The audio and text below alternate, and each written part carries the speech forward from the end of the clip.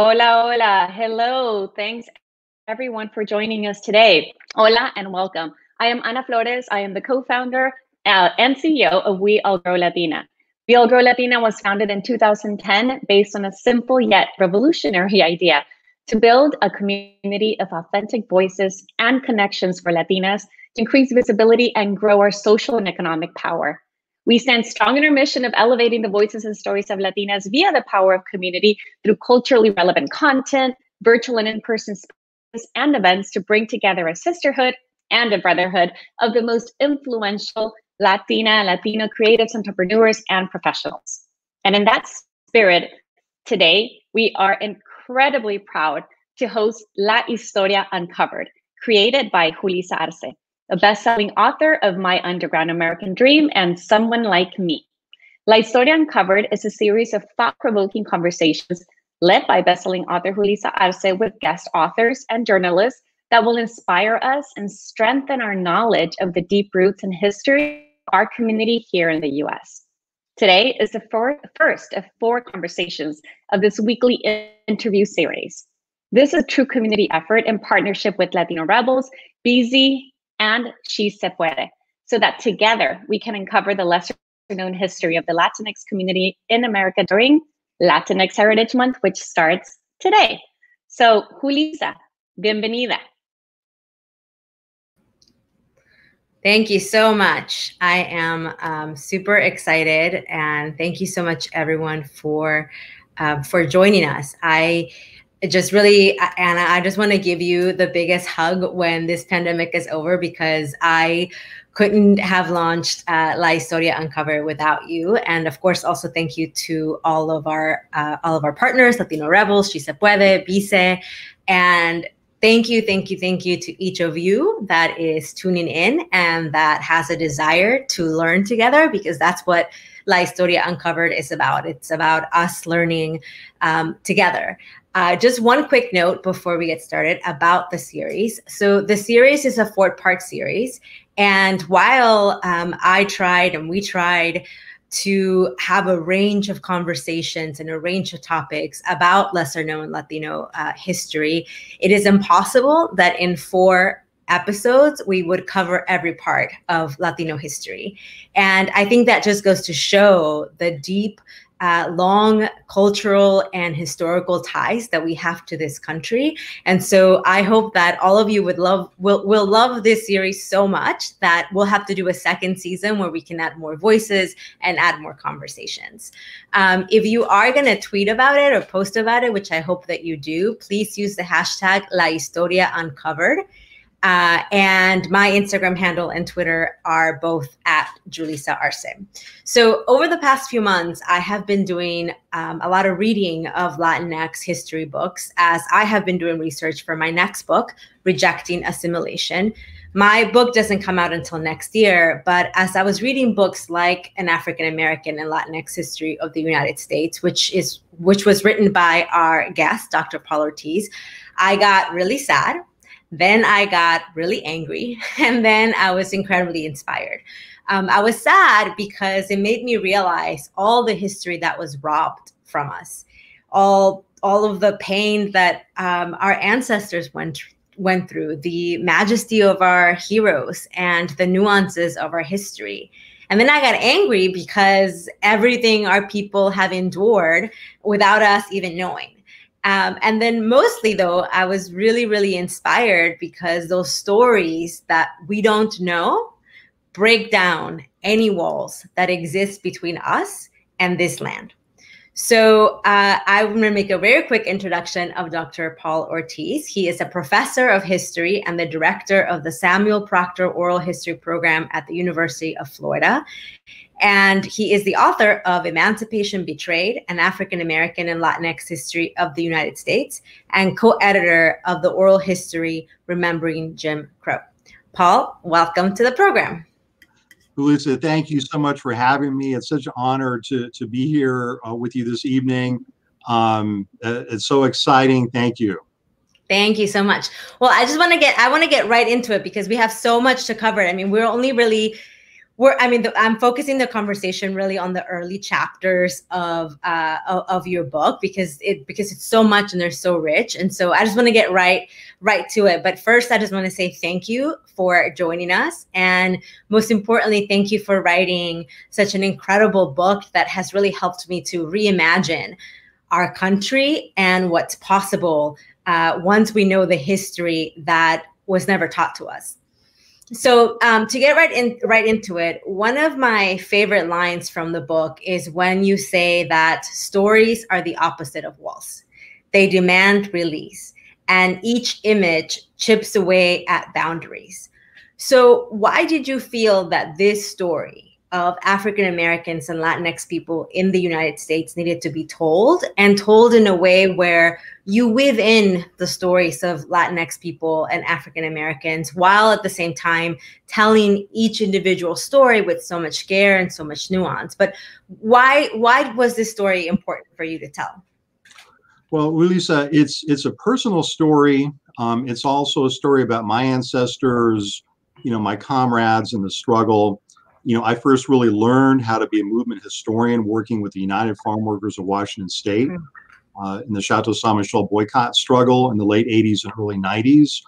You know, and, and it's also a story really dedicated to, you know, if I think back in my own life history as a student, and I work today with so many first generation college students. Um, I just did a, a workshop with a group of wonderful high school students in Florida and they tell me the same thing you know we don't know any stories about our people you know we mm-hmm. come from cuba we come from haiti we come from mexico we come from eastern europe and, and no one tells us any stories about our ancestors and they talk about the need for us to assimilate right that mm. the topic of your forthcoming book which i'm so excited and i really want to i want to take this opportunity to invite you to the university of florida to come and talk about the book when it comes Thank out. you because it's so important, Julissa, because we have been told for generations that we have to bend and break and assimilate into a dominant society, mm-hmm. which um, is an imperialistic society. It's a racist society. It, and the mm-hmm. reason that many of us are here, in fact, is because of American imperialism, right? right. Juan Gonzalez has the wonderful metaphor harvest of empire. And what mm-hmm. Gonzalez is trying to get us to understand, it's kind of like when uh, Junot Diaz says, the reason I'm here, uh, uh, because my ancestors were from the Dominican Republic, but the reason I'm here, Diaz t- tells us, is that the U.S. invaded my country in right. 1965 and drove my people out. And so we ended up growing up in New York and, and New Jersey. So it's really all those reasons. And when I grew up uh, we didn't hear anything about the contributions of Mexican Americans, Chicanos, uh, Latinos, African Americans. And I think I kind of combined, tried to think about those stories in concert with each other. You know, the, the amazing story of the African diaspora and the freedom struggle with the freedom struggles of our peoples because they're mm-hmm. so intertwined. And one anecdote I can share with you, uh, one experience as a teacher, time after time, I will have students come into my office hours, and I can almost, um, I can actually predict this now, Julissa. The the lecture I give on the Mexican War of Independence, mm. which we are just now celebrating, right? The, you know, for for Latinx Heritage Month. When I tell the story about how our war for independence started as a struggle against slavery, as a struggle against the oppression of indigenous peoples, in addition to being an independent struggle and I tell them that. And I tell them that African Americans found sanctuary in Mexico even before Mexico won its independence from Spain. I'll have students, first gen students from Mexico, and they will tell me, they'll say, you know, uh, and they'll come into my office. Sometimes they're in tears, hmm. they're crying. They're saying, we never heard these stories. Yeah. You know, we now have a reason to be proud of where we came from. Hmm. And, you know, they shouldn't have to wait that long. Yeah we should grow up with these stories. And I, I think sometimes we're almost embarrassed because we're trying so hard to somehow assimilate to a dominant um, kind of culture, a dominant narrative.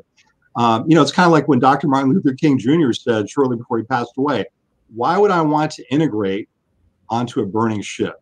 Yeah. Really? You know? Yeah. That's incredible. Yeah.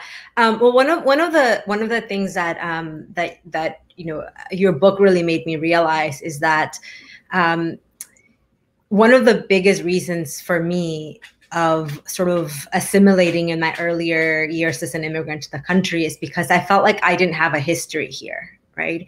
And um, and I think that as long as we continue to teach the same history, the same incomplete history, as long as we continue to teach that incomplete history, we are allowing white supremacy to continue because we learn all through school we learn all the stories of the white heroes of the United States.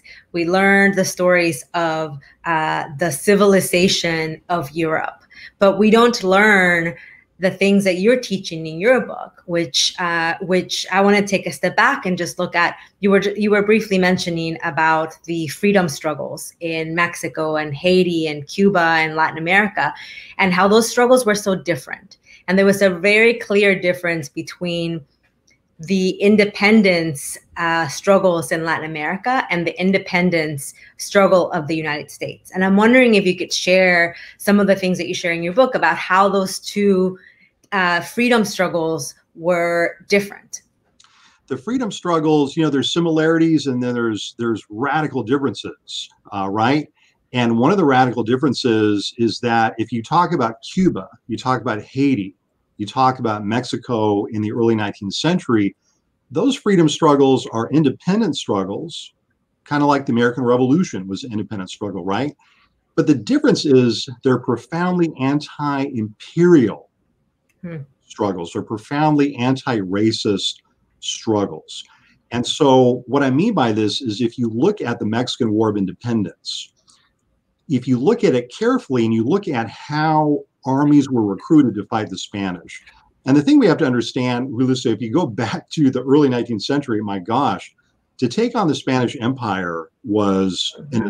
astonishing, heroic thing. It's the mightiest empire still in the world. I mean, the British are going to eclipse the, the, the Spanish, but the Spanish are still on top. If you came to me and I was a peasant, I was an enslaved person, you know, I, I was a mestizo or whatever, and you say, "Hey, take up arms against against the Spanish Empire in 1810." Are you kidding me? What hope of success do you possibly have? But those wars were animated by this great idea, the idea of of human equality, of human liberty, uh, and not abstract. It wasn't not an abstraction. And in writing African American and Latinx history in the United States, I went back and I looked at the papers and the correspondence of people mm-hmm. John Adams, like Alexander Hamilton, like Jefferson, because I wanted to make sure that my suspicions were true. And in fact, they were. Jefferson, Adams, and Hamilton never planned a revolution which was going to give you or me equality with right. them. That was never their plan. Their plan was us was for us to be second class or third class citizens or enslaved people, right? But that if you look at this, the Haitian liberation struggle, the Cuban struggle, Jose Marti, Antonio Maceo. I just talked to a group of, of, of high school students in Florida about those, those uh, freedom fighters. From the very beginning, the idea was the equality of all people and also challenging economic exploitation and also challenging imperialism, those three great um, goals. And that's what differentiates the Latin American independence struggles, who they said. And let me give you one more example when when when U.S. Americans talk about the deficits in in in our Constitution, when we talk about things like the Electoral College, we talk about endless wars, um, and they say, "What? How how are we going to solve this problem?" And I've been all over the country to give lectures, and people get up in the first Q and A. You know, how do we solve the problems, Professor Ortiz, that we have with our Constitution? And you know what I tell them? I say, "Why don't you look to our neighbor, Mexico?" Look mm. at the Mexican Constitution and look at that proud history of non intervention. Mm-hmm. And I mm-hmm. ask my audiences, I say, I just want to give you a pop quiz. I'm a historian, right? So I, have got, I'm a professor. So, so uh, my pop quiz for you is how many nations has Mexico carpet bombed? Mm-hmm. nations has Mexico invaded? And no, I'm not claiming that Mexico is perfect. It has right. in either nation, right? But there's this proud and important and intellectual history of non intervention, which is rooted in the Mexican War of Independence, fighting an imperial nation. Unfortunately, the US, in contrast, we also were fighting an imperial nation, right, in 1776, right. trying to break free from a terrible, vicious, oppressive colonialism. But unfortunately, because of white supremacy, and you mentioned this in your preface, because of settler colonialism, we turned around and mimicked mimicked the worst behaviors of the British Empire. We mimicked the worst behaviors of the French Empire. Uh, we strengthened slavery instead of breaking it, and right. that, that's what people in Mexico and the Cuban liberation struggles and most of the Latin American independence struggles were able to do. So, in the sense of advancing human rights, uh, those struggles were far superior. And that superiority, by the way, it, uh, continues well into the 20th century. But again, we're not taught those shining moments of, of emancipation. And if we're a society which says we're, we're that we're down with freedom and justice, wow, we have a lot to learn. Right.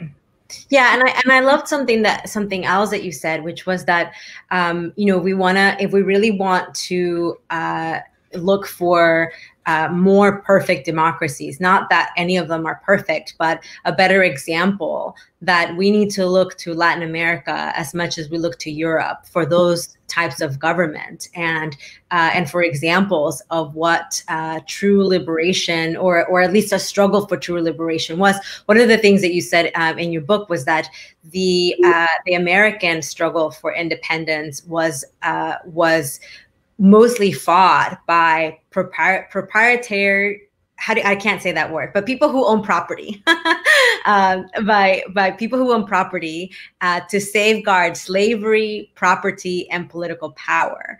Uh, and in many ways, I think I think that the American independence um, was as much about freedom as as it was about preserving a system of slavery. And um, and it, you know it all goes back to what you were saying which was about um, was about white supremacy and upholding white supremacy and upholding everything that white supremacy um, is is is is has its hands on.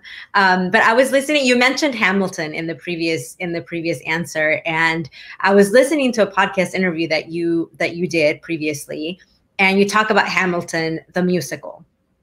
And and you said something that I mean I had to like rewind and and listen to it again because I was like he said what, uh, uh, but after you said it I understood it and and you said that Hamilton um, Hamilton the musical which is you know which is I think a musical that a lot of people have embraced and love both because Lin Manuel Miranda uh, wrote it and and is and is behind it and also because the majority of the cast are, are are black people and people of color. So we're we're seeing different type of representation but ultimately hamilton hamilton the musical is a story about hamilton. And you said that um, that hamilton is a white nationalist production. So what do you mean by that well, now you're going to get me into trouble, right? I mean, first of all, I love Lin Manuel Miranda. I mean, one of the great artists of our time. I saw him actually being interviewed the other day, and he broke into like um, a rhyme. I was like, "Wow, you go, guy!" I mean, it was yeah. Incredible. You know, so and, and I've listened to the music, and you know, look, I mean, my wife and I are actually planning to watch the movie this weekend. You know, right. and I tell people watch it, and I believe in the importance of representation, Lisa, in terms yeah. of you know how um, black and brown people have been excluded from from Broadway for generations. From every aspect of American society. Exactly.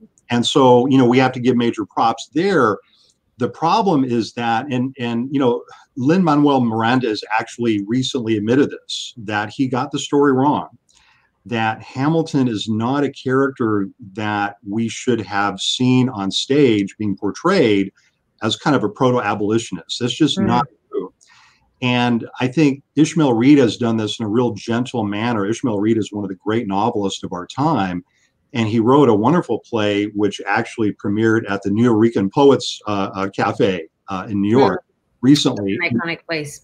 Yeah, it's called The Haunting of Lin Manuel Miranda. And it's a very gentle kind of story where it's patterned after Charles Dickens's Christmas Carol.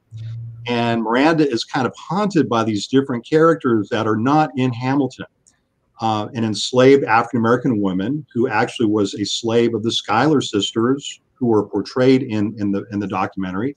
um, a Native American uh, who Hamilton frequently uh, depicted Native Americans as savages, as mm. people to be wiped out, right? Um, a poor white person, uh, and and all the people who are not depicted in Hamilton. And what Ishmael says is, you know, look, uh, Miranda was was kind of fooled by a group of, of, unfortunately, academic historians to try to create a Hamilton who did not exist in reality. Hmm. Um, and you know, as the play, and I've read part of the script, and the play ends, and or the musical ends, and there's this allusion to, well, if Hamilton could have lived longer, he might have become an abolitionist, right? Hmm.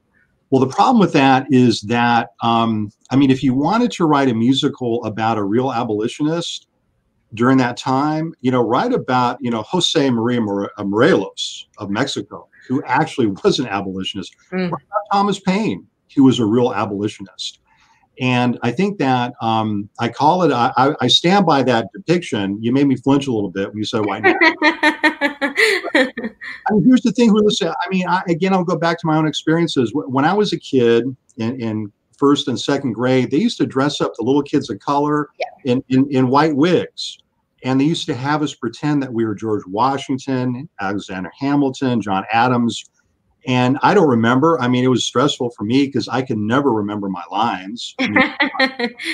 but you know, I got to wonder how long are we going to continue doing that kind of thing? You know, why don't we have a musical that portrays people like, um, you know, like Antonio Maceo, the Bronze Titan of, of, of Cuba, uh, or Dolores Huerta, who's 90 years young, you know, who's one right. of the characters of all American history why do we have to kind of have a fantasy about Alexander Hamilton, who really hated us? Um, mm-hmm. If you look at his correspondence, um, he had no love for us, and none yeah. of the fathers did that. That's the thing that I'm trying to get people to understand. Insofar as you and I enjoy the rights that we have now, uh, the wonderful books you've written, um, what I've been able to do as a teacher, the founding fathers didn't have those fates in store for us. They saw you and I as workforces. Hmm never saw us as, as being able to, to participate equally as citizens. It's our ancestors who made those, those uh, rights and responsibilities possible, you know, beginning in Latin America, beginning in the Caribbean, beginning in Africa. And that's why I kind of, you know, chapter one of the book is the Haitian Revolution, because I want to decenter this white supremacist yeah. narrative of American history. Look, all of our peoples in Mexico, we have testimony if anyone doubts this, Simon Bolivar, the great liberator of Central America, Venezuela, Jose Morelos, Vicente Guerrero, the list goes on and on. They all give major props not to the founding fathers, but to the Haitians. Mm-hmm. Revolution, which breaks the back of slavery and imperialism in the Americas, it's the first independent, uh, uh, uh, free republic that's created in the entire yeah. Isn't that crazy that people like people don't know that? People don't realize that it was it was liberation started in Haiti. Yeah. And and that was the beacon of hope for so many people. It was Haiti that was the beacon of hope for freedom for so many people, not um, not the United States, and and particularly not at that time when slavery was, you know, the reason, uh, one of the reasons that the United States even exists. Exactly. You know, the settler colonialism, and and I want people, you know, people often ask me um, what books I suggest them to, to, read, and I say read the most important history book I've read in my entire adult lifetime. Julissa is Roxanne Dunbar Ortiz's book, An Indigenous People's History of the United States. Mm-hmm. I highly suggest that book because it tells us where the U.S. went wrong. You connect, you know, the oppression of indigenous peoples, settler colonialism, to slavery. Those three things you cannot um, untangle from each other. Yeah. The U.S. steamrolls into Mexico. It invades Mexico. And by the way, when I was a kid growing up, they called it the the what do they call it? The Mexican, the Mexican American War. My gosh, and and some kids still use that term. Yeah. And you know, I talked to a group of teachers the other day about it. I, they asked me to do um, a high school history workshop, and the one thing I want to to let you know, which I think you'll be happy about, is my gosh, school districts across this country now are getting the news. Their yeah. students, teachers, parents are demanding a new kind of history. But I looked at one of their lesson plans and they had this phrase, the, the, the Mexican American War. I said, stop, y'all, stop. It, it wasn't the Mexican American, it was the US invasion of Mexico mm-hmm. to grow slavery.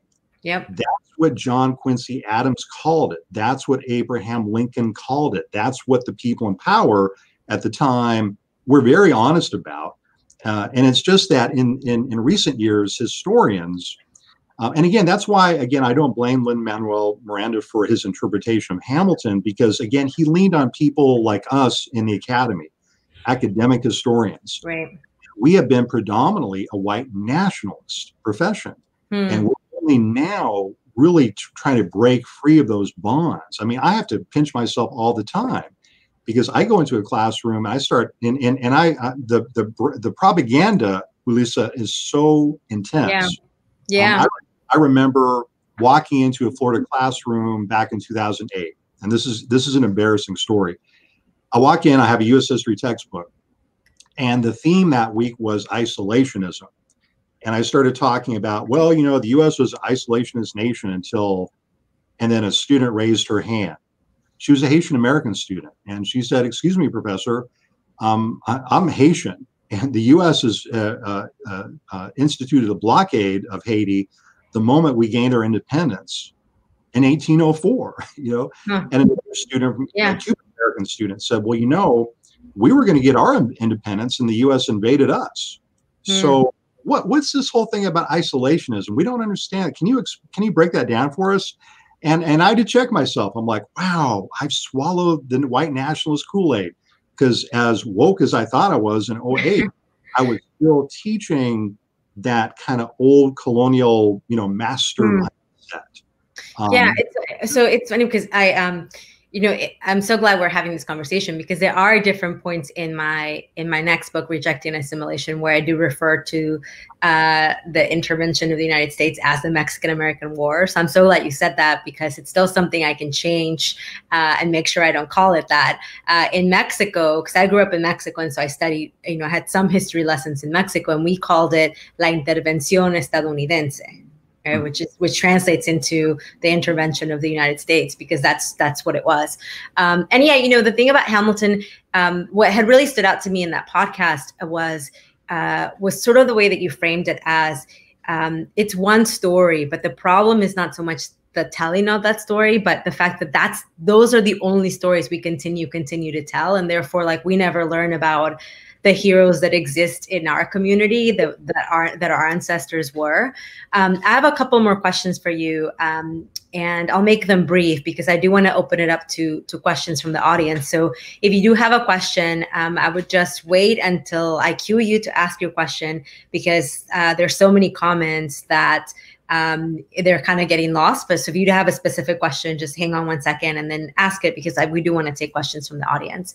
Um, so one of the other things that that you kind of alluded to right now, which is the kind of how the U.S. intervened in so many different places, and I think that that's one aspect of U.S. history that's often hidden. Um, not just how imperfect our union really is, and the principles on which it was founded are also imperfect, but how the US also actively stopped freedom in Latin America and the Caribbean. Uh, you, you write that the progress of anti slavery insurgencies in Haiti and Mexico and other parts of Latin America filled US political leaders with dread. So can you give us a, you you kind of gave us the example of, of, of Cuba and you mentioned um, the Dominican Republic, which you know I think so many of us don't even understand the the scope of intervention. Like I had no idea that the US at one point had invaded Haiti, the Philippines, like so many places. Uh, and so can you give us a couple of, of examples um, of, of when the US intervened to kind of stop freedom in other places, uh, in Latin American places? And also, how did US leaders viewing us as racially inferior shape their strategy in in Latin America. I mean, when I read some of those correspondences that you're talking about, that you wrote about, um, I mean, it, it, it like it made my skin crawl when when we were referred to as you know savages when when the founding fathers would say that we were not racially capable of having our own governments and governing ourselves Uh, so can you can you tell us more about that? Yeah, so so I'll I'll start from the the the first part of your question. So let's just take one year, 1915. So that year, the U.S. invaded or occupied Haiti, and soon after did the same thing to to the neighboring Dominican Republic. And they did that uh, ostensibly to protect American property, but the real reason was to help U.S. banks cement their control over Caribbean finance. And what I mean by this, this is an early example of what economic scholars now call financialization.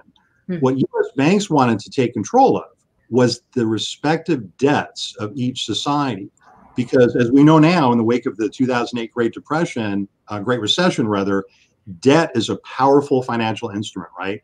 Yeah, and, and we'll be talking about the the, the Puerto Rican debt uh, with Ed Morales next week. Exactly. Uh, but, but yeah, continue. Yeah, I'm so glad that he's going to be. He's an amazing person. Um, so yeah, in 1915, the U.S. goes in and and really um, at the behest of New York-based banks to take over the society, to take over Haiti's budget. They do this. We do the same thing with the Dominican Republic.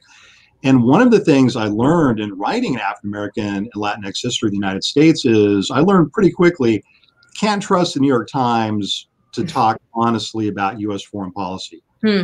Trust the Washington Post. And if you look at the history of those mainstream, uh, uh, uh, I'll call them Anglo newspapers because that's what they always have been, frankly. Um, they have always been on the side of U.S. intervention. So hmm. why is that? You know, we, we, we should ask ourselves that question. But Julissa, on the other side, what I discovered was when I looked at black newspapers from 1915, they were telling the truth. Hmm. They broke it down. They said, why would the U.S. claim to be going to Haiti and, and Nicaragua, Honduras, to bring democracy to those countries? What a bad joke. The U.S. Hmm. doesn't care about democracy. We can't even vote in our own country. And so you're talking about de- democracy in Haiti or the hmm. Dominican Republic? And so that's what that was a humbling lesson for me to learn that I had been looking for history in all the wrong places and I needed to look at black newspapers. And just like this earlier time period you mentioned about what the founding fathers, how they conceived people from Latin America, they saw us as little better than savages. They they said, and and because periodically there would be popular American support for people like Simon Bolivar, right? He was considered to be an international hero. But hmm. again, the so-called founding fathers and their sons basically said, don't admire Simon Bolivar or don't don't support what's happening in Mexico, that, that's not like our independent struggle because those those savages there, those Indians and mixed people, and that's how they referred us to as, right. as um, and they came up with a lot of derogatory terms with yeah. here. Uh, they don't understand freedom. They don't have a sense of responsibility. This is why I was so glad to, to learn about this incredible Mexican American uh, California uh, Mexicano tradition of abolitionism. And I try to talk about this in the book. You know, these incredible, like, we know about Frederick Douglass. We, everyone should know Frederick Douglass was. But what I try to do is introduce people to the, the great Mexican and Mexican American abolitionists in California who are writing in Spanish language newspapers vicious denunciations of American colonialism, imperialism, and slavery. And so you have these dueling freedom struggles, you know, if, if, if you will. And um, the, the last thing I'll say about this, Julissa, is that if you want to understand 19th century US political history, here's the most important fact. All of the nations that we've been talking about so far, even the imperialist nations, even France, even Great Britain, the Dutch, all of them are moving towards abolition of slavery in the early 19th mm-hmm. 1800s. Alone out of those, it's the US and the Portuguese and Brazil who are moving in the opposite direction. We're moving towards empire. Hmm. We're moving towards expanding slavery. And if you look at Brazil today and the United States today, we're almost like uncomfortably mirrored images of each other in certain ways, right? You know, we have right wing governments. Uh, we have governments which have been uh, complicit in the, the suppression uh, of civil liberties. We have governments which have smashed uh, black uh, neighborhoods uh, immigrant neighborhoods. We have governments which have been nativist. And so again, that that's a, that's a really important thing to understand. I mean, think about think about the U.S. in, in the 1840s. By the, by the 1840s, the British Empire's outlawed slavery. The French Empire's outlawed slavery. The Seminoles are fighting a desperate battle with their African American allies in Florida to keep slavery out of out, out of Florida. Right? And Mexico has abolished slavery decades earlier. Mm-hmm. many African Americans are finding sanctuary and freedom in Mexico um, and in the Bahamas and in even Martinique, right? And and and it's the U.S. who's still trying because the U.S. You know, to be honest, slavery was too profitable yeah. to get shed of, and all these other nations said we're going to we're going to abolish it, but it was just too profitable for the U.S. And that really created a set of, of attitudes and behaviors towards property and towards the value of human life yeah. that I think we're grappling with now. And the reason why we have to have a Black Lives Matter movement at this late date to even just affirm the idea that Black, Lives, Black Lives Matter. Can you imagine after Black people have been brought here in chains in the 1500s and for over 400 years later, you have to have a movement to affirm that Black Lives Matter? Uh, the, the, society should be ashamed that that we're in that. And but I will say on the on, on the positive side, the Black Lives Matter movement has opened so many new spaces for us to talk about our histories with this. And, and, yeah. and the last thing I'll say is that I have more Latinx and Hispanic and, and Chicanx, you know, uh, history events this month than ever in my entire career. Great. And I really credit it to the Black Lives Matter movement because it's opened our hearts and our minds to the histories of oppressed people. And, and yeah. really made a difference. Yeah. And, and, you know, um, I think that that's one of the things that really, I mean, we're, you know, we're, we're, we're here talking about uh, Latinx history, which, which of course is is also Black history because we can't forget that like there are, and and and we are going to talk about um, later in the series specifically about uh, about uh, Black Latinos and, and, Black Latino history. But one of the things that really stood out to me specifically about your book and sort of that um, that the African American struggle, it's also just how uh, how much African Americans supported freedom struggles everywhere else in the world, even as they were fighting for their own uh, for their own freedom uh, here in the United States, and how uh, they had this idea of international emancip- emancipatory internationalism. Um, and you know, we, I want to get to the questions from the audience, but um, so we we won't have time to talk about that. And plus, everybody should should get the book. Um, you can see how many notes I made because I just I learned so much from this book. But the last question I want to ask you um, before we open it up to to Q and A is that you know we're currently in the midst of a reckoning, I think, within our community, uh, facing issues of race, racism, anti-blackness, anti-indigenous sentiments within within our own Latinx community, and you know, we're wrestling with our colonial history, with the caste system that defined society in colonial times, um, and I think part of eradicating that racism within our community is to understand the, the dynamics that created it. So I want to just take a quick step back um, because in reading your book, you know, you alluded to a lot of these figures. Um, leaders like Vicente Guerrero, Jose Marti, and others who fought against slavery, who fought for the right of Black and Indigenous people. Um, you write that generations of people in the US drew inspiration and lessons from the Haitian Revolution, the Mexican War of Independence, the Cuban War of Liberation. So, where did we go wrong? Because uh, it often, I, I, I often feel, um, I'm often dumbfounded by how we Latinos are part of an oppressed group, and yet we are also some of the worst oppressors within our own community, and particularly towards Black people, particularly towards Indigenous people. So, where do we go wrong? Because I feel like when I'm reading this stuff, uh, it, it's like night and day of what our ancestors were fighting for and what they stood for, and some of the issues that are so prevalent in our community where do we go wrong? I mean, it's an important question. Well, one of the, I'd like to start with the concept of self hatred. Hmm. You know, it, it's, it's a family question because, you know, again, I didn't grow up learning this history. I didn't learn to be proud of my ancestors. I kind of knew they had fought in the Mexican Revolution, but I didn't quite know what they had done. It was never presented in a book. It was never presented in a lesson plan. It wasn't talked about in our churches, our, our, our organizations, you know, not in the Boy Scouts. You know, even in the Boy Scouts, you learned about Alexander Hamilton yet again, right?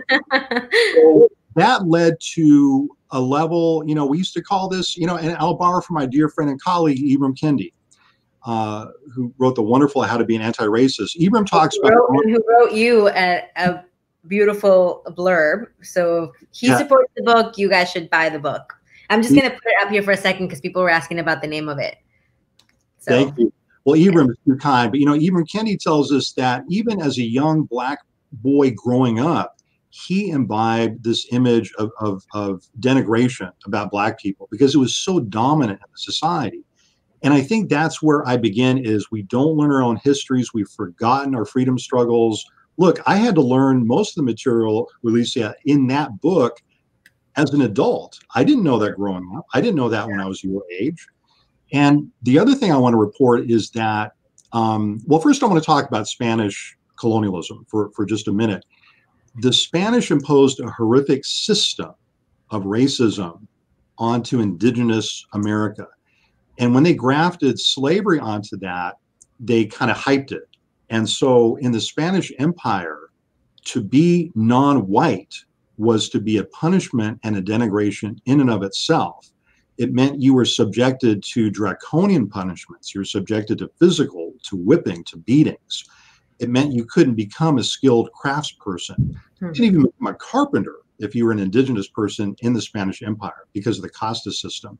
So after centuries, we overthrew the Spanish, we overthrew the Portuguese, we overthrew the Dutch, so on and so forth. And yet those habits of mental slavery still mm. stayed in our communities. And we brought them with us. We, we kind of we bring these kind of mixed legacies. So on the one hand, yeah. I would argue we bring social democracy to the United States. That's one of our great gifts. If you look at the leadership of the most progressive trade unions in this country, almost all of them led by young Latina, Latinx women, most of them first generation from Central America, from Mexico, from the, the future Caribbean. is Latina. Exactly. and the other thing I want to mention is that oppression does not always generate solidarity, hmm. right? Because hmm. we live in a racial capitalist system, which has always been based on the notion of divide and conquer.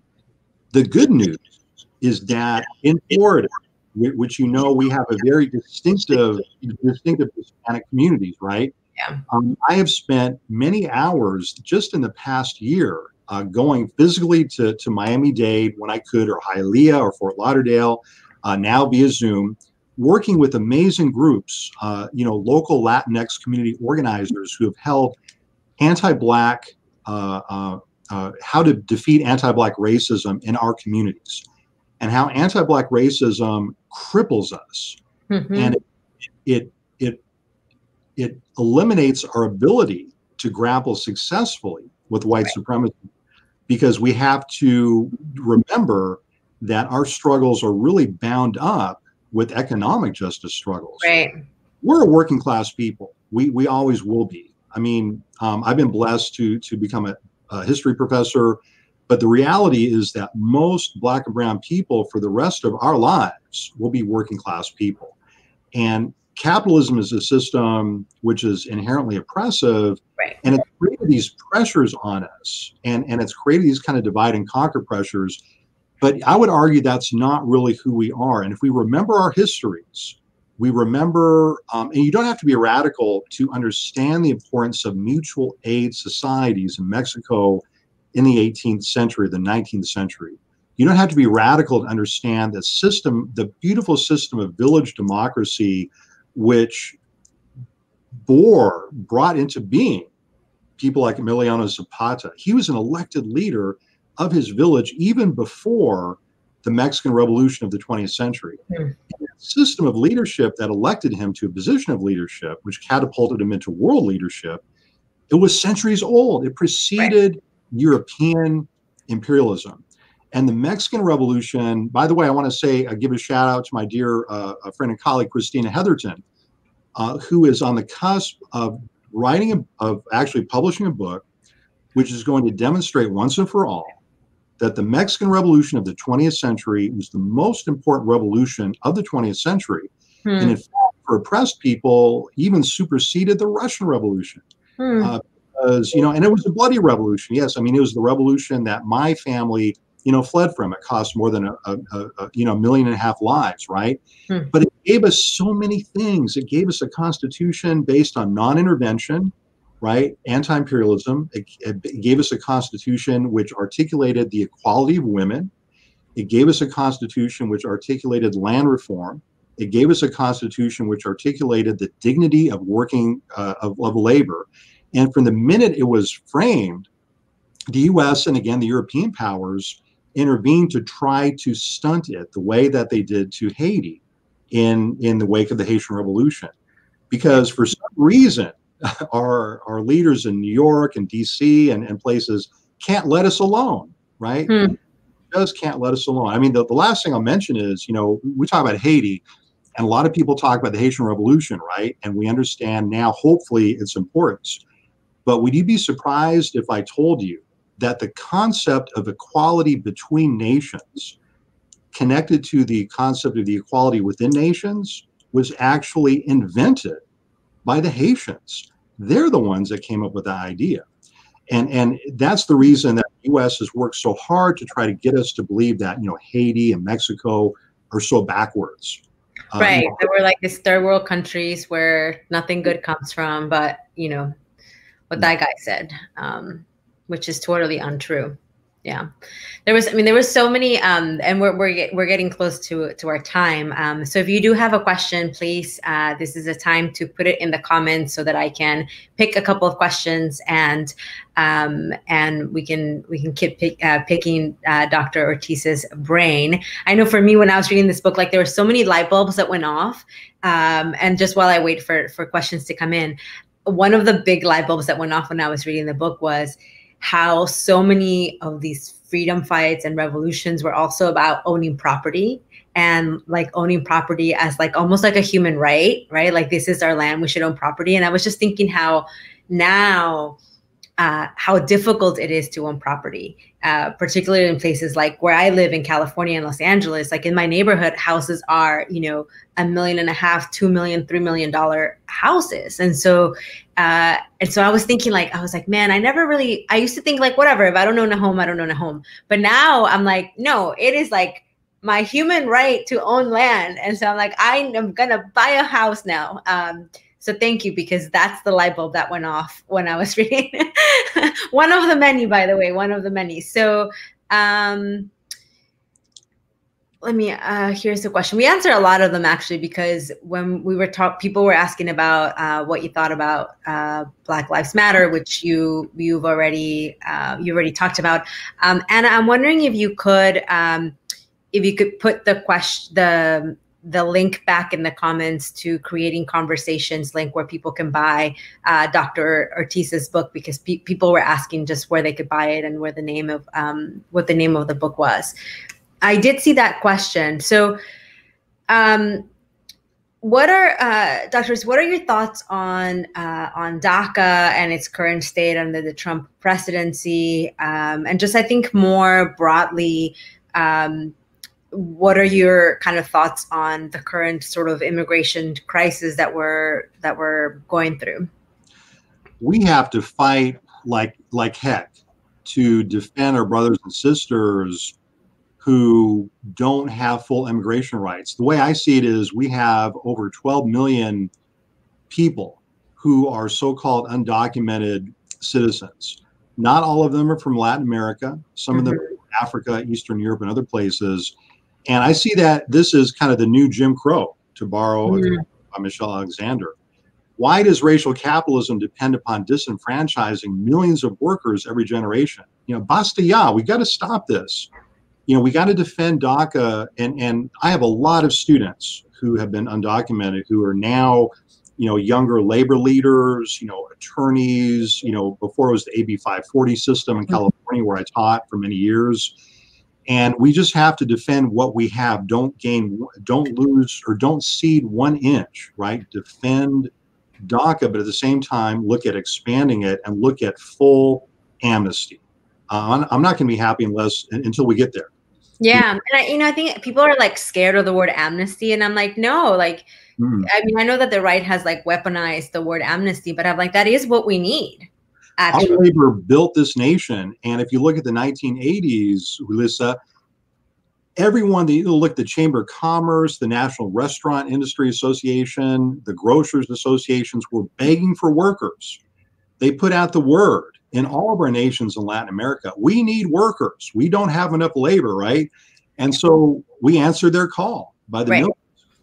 And many of us, as Juan Gonzalez uh, has taught, were chased out of our own countries. Central America now, look, I was a soldier in U.S. Special Forces in the mid 80s. I was part of the problem, right? And we promoted civil wars in Central America.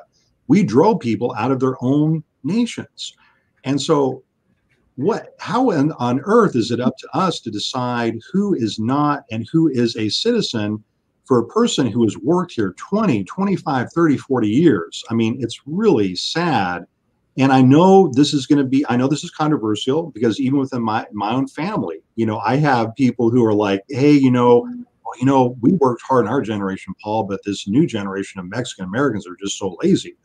We have to guard, we have to fight that within our own families. Yeah. It's so easy, again, within that capitalist divide and conquer mentality. You know, you mentioned property, right? Okay, so I own a house. Um, I don't see anything wrong with that. It's security for my family, right? Um, but when is enough enough? Right? We have this class, this growing class of billionaires, and you know all these corporations making money out of our communities, and yeah. they're the ones who are trying to stop immigration reform. So let's build a movement. I mean, let's get Trump out of office. Yes. Uh, first, first and foremost, I hope everyone's registered to vote. But at the same time, let's not be ashamed to use the term amnesty. My gosh, Ronald Reagan used the term amnesty in the 1980s. Mm-hmm. And, you know, again, if you believe in hard work, who are the hardest working people in the history of the society? Number one, enslaved African Americans, right, and their and their descendants, and and we're we're pretty much a close second. I would argue. I mean, mm-hmm. we're, we're for our keep, and we've done and that's why I say in the book, we should not be ashamed of who we are. And I think that's yeah. the biggest problem because of the shame we have and we've been made to feel and we've kind of we've kind of uh, incorporated uh, we're shy about asserting ourselves yeah let's, let, us stop with that yeah absolutely. Um, thank you so thank you so much for that. There's there's so many there's so many questions. There's i just want to briefly say there so there's a question about the the census and the fact that um, you know, there's the, the racial categories are such that uh, so many Latinos feel like the only choice we have is to check white uh, on it when it comes to to a to a racial like what race are we um, and uh, and I just want I just wanted to briefly say that we are going to be speaking with uh, Dr. Laura Gomez who wrote uh, Inventing Latinos and uh, Manifest Destinies, uh, the making of the Mexican American race. And so there we're going to have a really, really deep discussion about precisely that question and um, how Latinos came to be ethnicity instead of a race and what that means for us. So I just wanted to answer that question um, very briefly, which just to say tune in September uh, 30th because that's when we'll be speaking with uh, Dr. Uh, I don't know if she's, I don't know. If, I mean, she, I have a random question. Are all PhDs doctors? Well, yeah, or professors. I mean, she's wonderful. I'm going to be tuning into that show. Who is awesome. She's, 30th. Yeah. Yeah, she's amazing. Um, she's really, really great. So, uh, okay, so I do. There is a question, sort of. Um, it's not a specific question because there's a lot of questions that are alluding to this, which is how do we begin to de- decolonize our history and uh, what we teach children in school? And I know that you have exciting news about about your book. Um, so I'm wondering if you can share some of like what what we what can we do to start um, decolonizing our textbooks now is the time. And again, the Black Lives Matter movement has opened the space. There were movements beforehand. Let me share with you what's happening in Connecticut. So, the state of Connecticut has passed a law. All public school graduates will learn, will take courses in African American history, Latinx history, and Puerto Rican history. hmm. not an elective, a requirement. And that came about, Julissa, because of a student movement, a parent movement, a teacher movement. Whether or not we're teachers or not, we can demand that our school districts teach more inclusive histories. We can demand that if we're living in a district where 65% of the kids are of Dominican descent, that by gosh, there should should be units about teaching the history of the Dominican Republic, right? You don't have to be a PhD to demand that. Uh, there's more space now, and in Miami Dade, my, my brothers and sisters listening, and I know there's some tonight from Miami Dade. We just had a revolutionary moment just uh, a little over a month ago. Miami Dade has now made it official that African American and Latino histories will be taught. And there was argument about it and some people said well you know black history you know uh, it might is it communistic? You know we, we know but but th- those arguments lost. And so it was again because of a popular movement of parents students and teachers um, it's happening all over the country this is so exciting to see demands for more inclusive curricula as a teacher i am so excited to see students even when they walk out of class going on strike demanding what the right to study more. Yeah. My gosh. Yeah. That's awesome. And, I mean, I'm happy to also share that because of that demand created by students. And we always have to remember our freedom movements have been propelled by three groups of people young people, high school aged, working class people like your your mom uh, you had told you wrote a wonderful blog post your mom had a sixth grade education right my father had a seventh grade education, right? He, he, he was one more year advanced than your mother, but though it was the working class people that created the farm worker movement. It was the working class people that created the new immigrant rights movement of today. Mm-hmm. And then the third group of people are the people that are kind of watching this show right now. You know, they're people who are, you know, we're kind of in these uncomfortable spaces. So, you know, you're a noted author now. I'm a professor. Uh, we have imposter. I know you have imposter syndrome. I have it too. I, I sometimes wake up and say, What am I doing? A university professor? My gosh. But there's roles for all three of those groups really young people, working class people, and people like us to get involved. The yeah. spaces are there more than ever.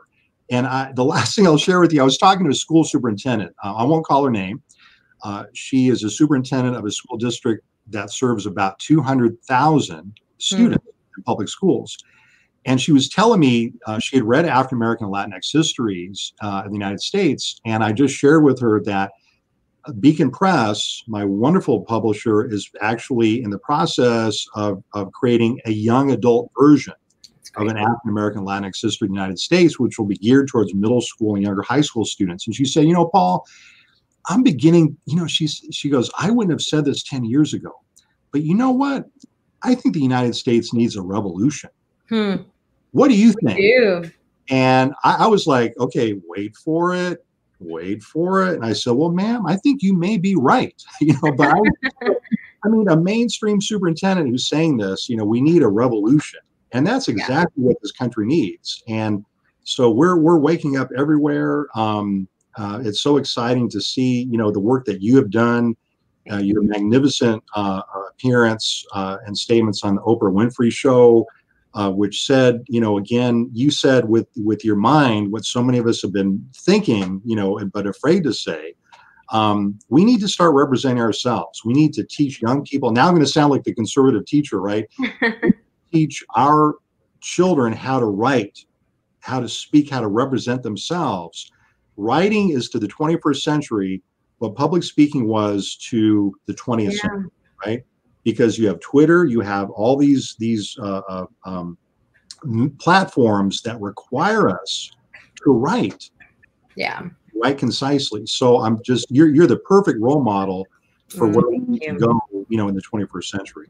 Thank you. I really appreciate that. And I appreciate your time. Um, everyone tuning in, thank you so much. Um, and uh, I am, I, I, was, I was thinking recently that we need to, um, we need to change our thinking around like self promotion and like what that means. But I'm not afraid to tell you that if you want to support my work, uh, you can pick up my book, My Underground American Dream. Uh, it's also in the same link where you can find Dr. Ortiz's book, An African American and Latinx History of the United States. Uh, Dr. Ortiz, thank you so much. I mean, I could keep talking to you for many more hours, but I, I just I'm so thankful that you took the time to to join us. I am so so grateful to every single person that uh, and and and uh, by the way, Dr. Ortiz, my my goal is that this will not be the only four conversations that we have. I am hoping that we have a second season of this series and i hope that you will that you will be back. I would love to be back and thank you again for the honor. Uh, uh, it's it's really an amazing experience. Um, i'm excited i'll be tuning in. Uh, so i encourage everyone here you know laura and uh, other people on the series are just going to be amazing people so thank you Thank you so much. So yes, we we hope to see you next week for the second episode of La Historia Uncovered. Again, if you're posting, and I hope that you do, I hope that you help us to spread the word. This is as much uh, something as that I created, but I, I, it's something that we're all creating together. And so I hope that you help us to get the word out um, please post about this episode. Use the hashtag La Historia Uncovered. Um, next week, we'll be speaking with Ed Morales, who is the author of Fantasy Island Colonialism, Exploitation, and the Betrayal of Puerto Rico.